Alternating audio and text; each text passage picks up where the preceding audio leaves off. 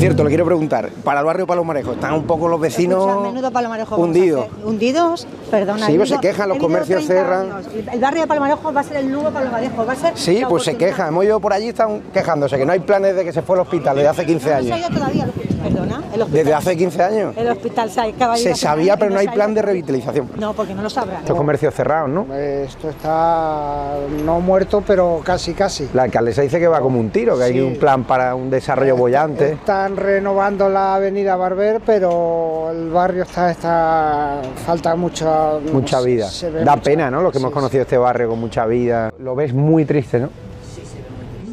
Con lo del hospital y. ¿Y hay algún plan por parte de la alcaldesa de revitalización? Que yo sepa, no. Están todos los locales prácticamente cerrados, se ve mucha ruina del Partido Socialista y eso es una pena porque este barrio lo recuerdo yo en mi infancia como muy vivo. Así es, así es.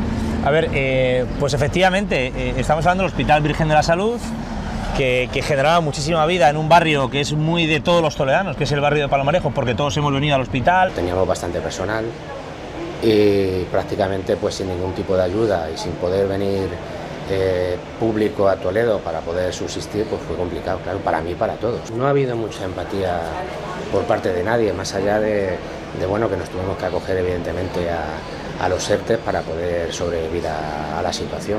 ¿Cómo ves el centro de Toledo? ¿Está peor o no? Sí, ¿no? Están cerrando muchos comercios. Sí, mucho, mucho. Mira, ahí están cerrando. Es que Toledo está fatal, de verdad.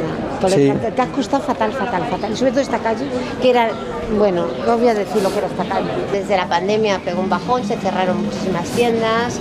eh, entonces, pues, en la, vamos, ya, o sea, os vais a la calle lo vais a ver. Está todo vacío. ¿De cuánto fue la ayuda?